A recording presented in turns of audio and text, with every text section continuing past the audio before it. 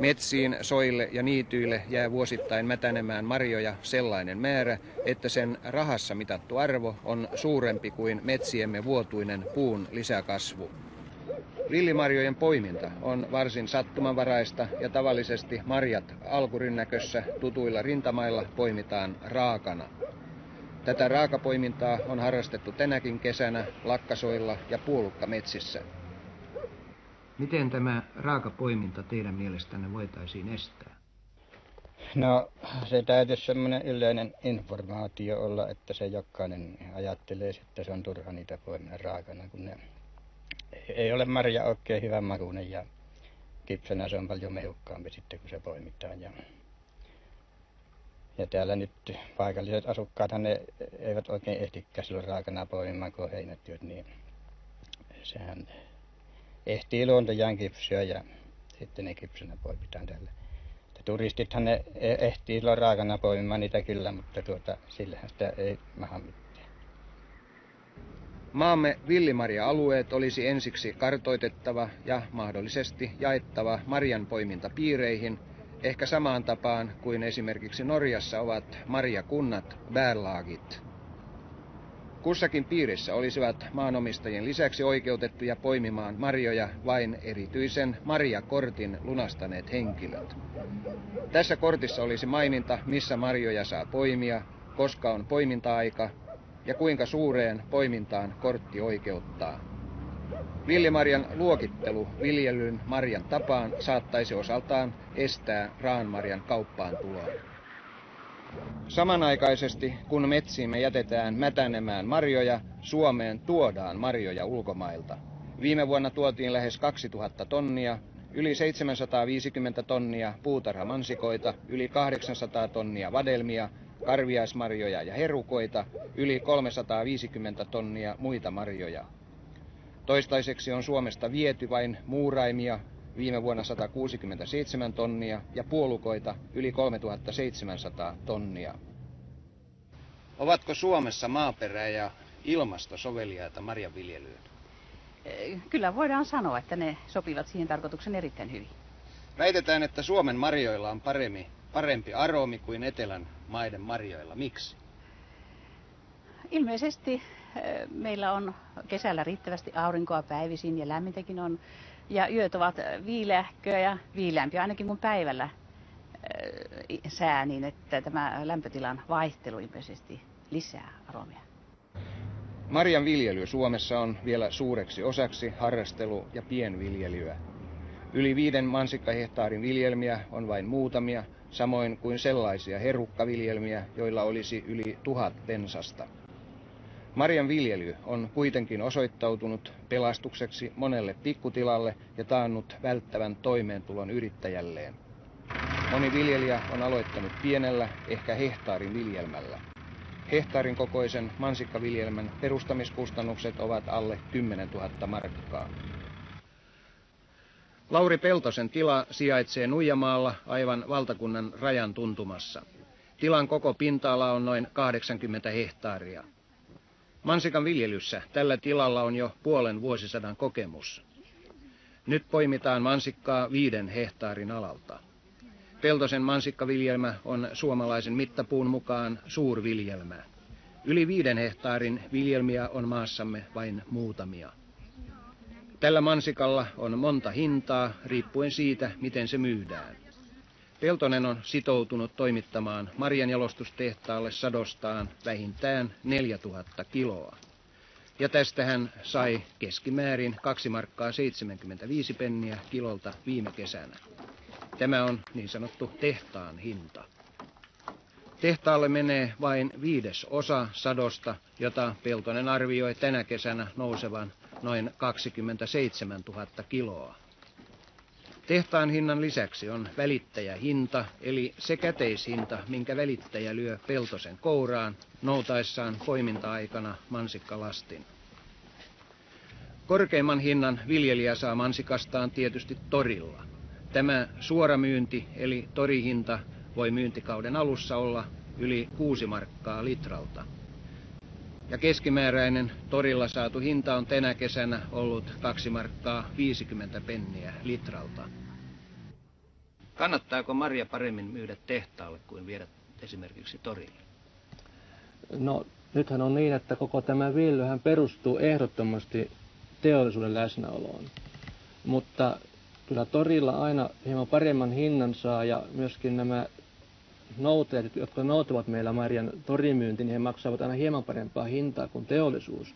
Mutta ilman teollisuuden läsnäoloa niin olisi mahdotonta näin suuria viljelmiä perustaa, sillä tuoremarjan kulutus se ei ole tasainen, vaan, vaan se vaihtelee viikonpäivien mukaan. Esimerkiksi alkuviikosta tiistaina ja keskiviikkona torstaina torilla menee suhteellisen vähän mansikkaa ja näinä päivinä me keräämme teollisuudelle. Sen sijaan loppuviikon päivinä, varsinkin lauantaina, torit nielee niin paljon kuin ne suinkin voi toimittaa. Peltonen arvioi koko mansikkasadon hinnaksi tänä kesänä noin 70 000 markkaa. Kun sato on 27 000 kiloa, merkitään keskimääräiseksi viljelijän saamaksi kilohinnaksi 2 markkaa 59 penniä kilolta.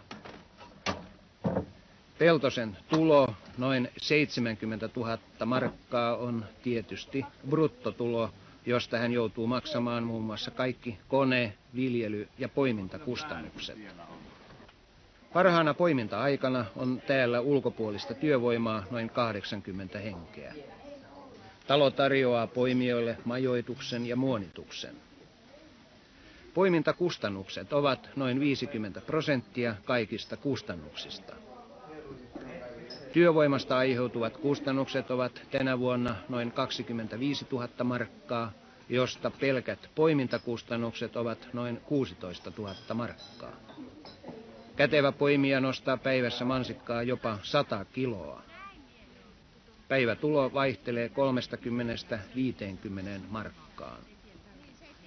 Poimija saa 40 pennistä 80 penniin kilolta riippuen mansikkamaasta, eli siitä, minkä kokoisia mansikat ovat ja kuinka paljon niitä on. Poiminta-aika tänä kesänä on ollut harvinaisen lyhyt, vain noin neljä viikkoa. Ja tämä on taas johtunut erittäin kuumasta kesästä. Maria on kypsynyt nopeasti. Monta kiloa te poimitte tällaisena parhaana päivänä? No siinä 90 kiloa. Monta laatikkoa? Se on siinä 15. Mikä on päiväansio? No siinä 40 markkaa vähän päälle ja vähän alle joskus. Kuinka paljon ansiot tekevät koko kesän ajalta? No se riippuu kuinka kauan täällä on. Se on siinä 900 markkaa, 1000 markkaa, jos täällä on niinku tämän mansikka-ajan kokonaan.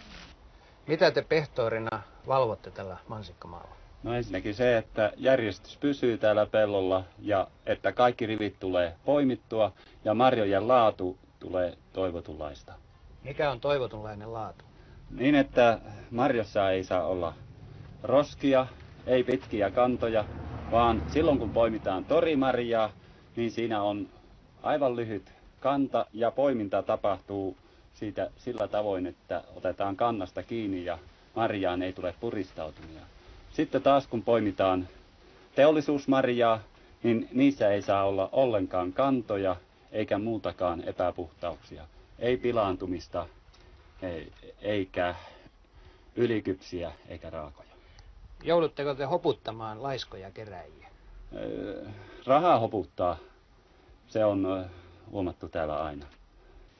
70 000 markan bruttotulosta jää Peltosen käteen noin 10 000 markan verotettava tulo. Normaaleina vuosina tällä tilalla on bruttotulo kohonnut 100 000 markkaan. Siitä verotettava tulo, kun kaikki menot on vähennetty, on ollut siinä 30 000 markkaa.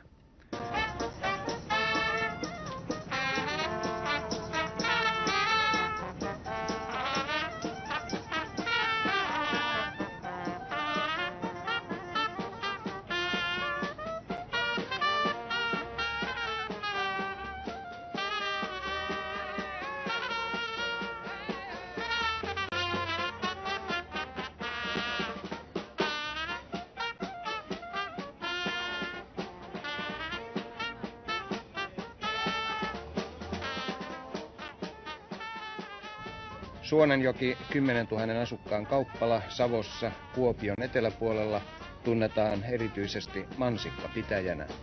Suonenjoelta tulee maamme mansikkasadosta neljäs osa. Poiminta-aikaan täällä vietetään joka kesä railakasta sadonkorjuujuhlaa, mansikka karnevaaleja, joissa kolmen päivän aikana lasketaan käyvän lähes 100 000 ihmistä. Joka vuosi valitaan mansikka isäntä, viljelijä, jolla on erityisiä ansioita viljelyn edistäjänä tai mansikan tunnetuksi tekemisessä.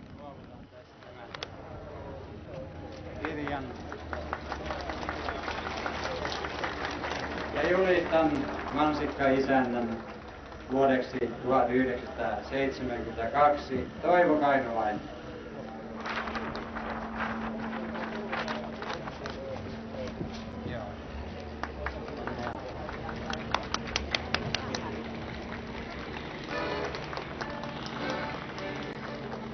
Auttavatko nämä karnevaalit jollakin tavalla mansikan viljelyä ja myyntiä? Tästä on esitetty erityisesti viime aikoina hyvinkin paljon erilaisia käsityksiä. Minun henkilökohtainen käsitys on se, että mansikkakarnevaalien merkitys Suonenjoen mansikan markkinoinnille on pelkästään positiivinen.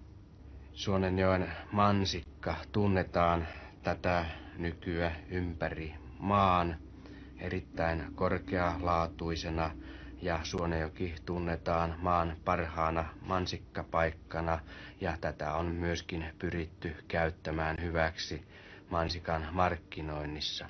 Suonenjoen mansikat markkinoidaan muun muassa omissa laatikoissaan ja myöskin yrittäjät muualta ovat havainneet, että Suonenjoen mansikka menee parhaiten kaupaksi ja ovat käyttäneet näitä suonenjokelaisia mansikkalaatikoita myöskin muualta tulleiden mansikoiden markkinointiin. Paljonko rahaa virtaa Suonenjoelle pelkästään mansikoiden myynnistä? Suonekelaiset mansikkaviljelmät käsittenevät tätä nykyä noin 300 hehtaaria, josta tuottavaa viljelyspinta-alaa on varmasti reilusti yli 200 hehtaaria. Kun yhden hehtaarin bruttotuotto on noin 20 000 markkaa, pyörii rahaa mansikan ympärillä Suonenjoella yli 4 miljoonaa markkaa vuosittain. Miten mansikka pitää Suonenjoen kuntaa pystyssä?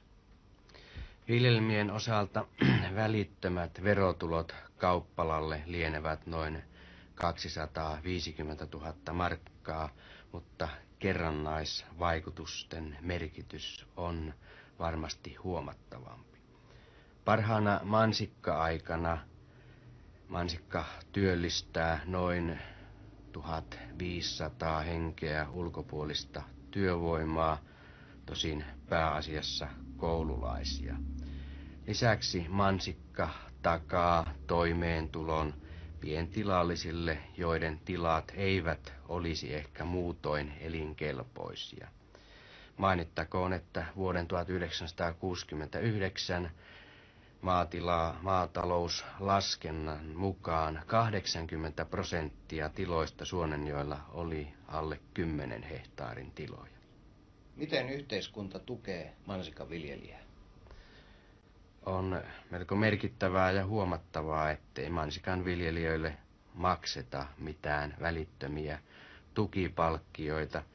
Suonejoen kauppala on tosin vuosittain varannut pienen summan marjanviljelijöiden yhdistykselle mansikan markkinoinnin ja muun mansikan viljelyyn liittyvän toiminnan tutkimiseen ja tehostamiseen. 48-vuotias Martti Riihelä Miehikkälässä hankkii kolmihenkisen perheen toimeentulon musta- ja punaherukan viljelyllä. 30 vuotta hän hankki pääasiallisen elatuksensa metsätöillä ja yritti sen ohella viljellä pientä perintötilaa, jossa on yhdeksän hehtaaria peltoa, siitä kolme hehtaaria aikanaan kuokalla raivattua ja 15 hehtaaria metsää. Kun metsätyöt tyystin loppuivat muutama vuosi sitten, oli Riihelän tehtävä ratkaisu. Joko tilan pito oli kokonaan lopetettava ja pyrittävä työttömyyskortistoon, tai oli keksittävä jotakin. Ja se jokin on nyt herukan viljely. Viimeisten parin kolmen vuoden aikana täältä pieneltä alueelta on joutunut lähtemään useita kymmeniä henkilöitä työnhakuun muualle. Mutta Riihelä ei halunnut kuulua näiden muuttajien ja tilansa lopettaneiden joukkoon. Riihelän tila on nyt marjaa tuottava liikeyritys, jossa pidetään myös kymmenpäistä lihakarjaa, jotta työtä riittäisi talvisaikaankin. 14 vuotta sitten Riihelä perusti puolen hehtaarin herukkaviljelmänsä. Nyt on kaksi ja puoli hehtaaria viljelykierrossa, tuhat pensasta punaherukkaa ja 400 pensasta mustaherukkaa sekä 30 aaria taimiviljelyksessä. Kahden ja puolen hehtaarin herukkaviljelmän perustamiskustannukset ovat lähes 20 000 markkaa. Marjojen poimintakustannukset ovat 40-50 prosenttia marjan myyntihinnasta. Tilan bruttotuotto, lihantuotto mukaan lukien, on 40-50 000 markkaa vuodessa, ja tästä marjojen ja taimien osuus normaaleina vuosina on noin 30 40 000 markkaa. Kun kaikki kustannukset vähennetään, mikä on käteen jäävä verotettava tulo herukoista? Herukoista voi tänä vuonna jäädä kuutisen tonnia, siis 6000 markkaa. Entä koko tilan tulo, kun otetaan kaikki tulot huomioon? No, tämä tulo ei ole vielä ainakaan tämän vuoden osalta lopullisesti selvä, mutta toissa vuonna oli kaikkien perheenjäsenien viiden hengen yhteinen verottaa tulo 29 000 euroa. Punaherukka pensas tuottaa marjaa jopa yli 20 vuotta, mustaherukka pensas vähemmän noin 15 vuotta. Kun poimintakustannukset ovat suurin menoerä, on Riihelä kehitellyt ja kokeillut useita koneellisia poimintamenetelmiä alentaakseen kustannuksia. Täristyskoneella poimitaan 200-500 kiloa päivässä ja tällainen täristin maksaa lähes tuhat markkaa. Täristyskone on kuitenkin todettu liian heikoksi. Käsin pystytään poimimaan vain noin 30-50 kiloa päivässä. Onko tämä poiminta vielä niin suuri ongelma, ettei viljelyalaa kannata laajentaa? No se nyt ei ole täysin varsinainen ongelma poiminta, mutta sinänsä se on ongelma, että paikkakunnalla ei ole enää irtonasta työvoimaa vierasta saatavana tarpeeksi, joka rajoittaa tämän viljelyn laajentamisen. Herukan viljely on kovan työn takana. Kesällä tehdään 12-16 tuntisia päiviä ja kesän aikana riihellä laskee pitävänsä vain pari vapaata sunnuntaita. Jos tätä marjanviljelyä vertaa esimerkiksi metallityöhön, kummasta arvelette leivän irtoavan helpommin? Kyllä käsitykseni on se, että metallityöstä leipä lähtee paljon helpommin, sillä meikäläinen tekee vuodessa äh, jo kesäaikana niin paljon tuntia, työtuntia siis, kun metallimies tekee koko vuodessa ja hänen palkkansa on varmasti paljon korkeampi tuntipalkka kuin meikäläinen tästä marjaviljelystä saa irti. Herukkasato on tältä viljelmältä keskimäärin alle 10 000 kiloa. Riihelä on tehnyt viljelysopimuksen marjanjalostustehtaan kanssa ja sai tänä kesänä ennakkona mustaherukasta vain markka 95 penniä kilolta ja punaherukasta markka 40 penniä kilolta. Kannattaako tällä hinnalla viljellä? No huippuviljelmät tällä hintaa pärjäävät, näillä hinnoilla, mutta jos lähdetään herkonviljelijä ajatteleen äh, keskitason viljelmiä, ne alkaa olla kannattavuuden rajoissa. Siis mitään ei jää hyvinä vuosina huonoin vuosien varalla. Miksi herukan viljelijät uhkasivat kesällä lakolla, luovutuslakolla? Tämä johtuu justiin tästä hintajutusta, sillä herukan hinta on niin paljon alhainen, että tämä panee miettimään, kun tuntipalkkaa käteen jää vähän, että jotain on tehtävä. Ja tämä ajaa ihmiset liikkeelle, siis kaikkihan on rahasta kiinni. Miksi te ette maksa marjaviljelijöille enemmän? Marjahinnat ovat kysynnän ja tarjonnan lain alaisia, kuten muukin kauppa. Sitä paitsi, jos marjahinta muodostuisi kovin korkeaksi, silloin myös tuotteiden hinnat nousisivat korkeaksi ja menekki vähenisi. Jos haluamme päästä kansainvälisille markkinoille, on siellä erittäin kova hintakilpailu ja meillä on pystyttävä tuottamaan silloin marjoja kansainvälisillä hinnoilla. Eivätkö marjaviljelijät pysty pitämään puoliaan? Ettekö ole riittävästi järjestäytyneet? Käsitykseni on, että marjaviljelijät ei ole tarpeeksi hyvin järjestäytyneet, sillä ne on erillisiä pieniä yhdistyksiä. Ainoastaan tällä alueella toimii Hyymoksen sopimusviljelijät, järjestö, joka on ainoastaan Hyymoksen tuottajia varten, ja nämä on tällaisina erillisinä yhdistyksinä, ja toivomus olisi henkilökohtainen käsitys, että saataisiin aikaiseksi, että kaikki liityttäisiin valtakunnalliseen järjestöön. Marjojen laadun tarkastus tapahtuu tehtaalla punnitusvaiheessa. Tällöin marja määritellään laatunsa puolesta joko ensimmäiseen, toiseen tai kolmanteen luokkaan. Ensimmäisen ja kolmannen luokan kilohinnassa voi olla eroa jopa 50 penniä. Pistokokeiden muodossa tehtaan laboratorio tutkii marjojen sokeri, happo ja C-vitamiinipitoisuutta sekä kasvinsuojeluaineiden jäämiä. Pystyykö tehdas todella valvomaan, ettei kasvinsuojelumyrkkyjä kulkeudu marjojen mukana kuluttajan suuhun ja esimerkiksi noihin tynnöreihin? Kyllä pystyy. Meillähän on yli 500 sopimusviljelmää, jotta me täysin hallitsemme myrky, myrkytyksen, valvomme ja pistokokeilla vielä myöhemmin tarkistamme, että todella tämä valvonta on ollut tehokasta. Metsämarjoissa on tietysti tilanne vaikeampi, mutta kyllä meillä on samanlaiset systeemit tässä valvonnassa myös metsämarjojen kohdalla, ja se on meidän mielestämme tarpeeksi tehokasta. Saako teollisuus yleensä Suomessa riittävästi marjoja? Kyllä saa. Kaikkia marjoja? Kaikkia marjoja. Muutamia metsämarjoja lukuun ottamatta, kuten viimeisinä vuosina on ollut puolukkaa vain määrätyillä seuduilla, joista puolukasta on ollut puutetta, mutta muista marjoista, paitsi vadelmasta puutarhamarjoissa ei ole puutetta. Nyt on puhuttu, että marjojen ja marjajalosteiden kulutusta Suomessa voidaan lisätä jopa kolminkertaiseksi nykyisestään. Toisaalta puhutaan myöskin, että meillä olisi suuret mahdollisuudet viedä marjajalostustuotteita, lähinnä tiivisteitä. Edellyttäisivätkö nämä nimenomaan tuotannon lisäämistä?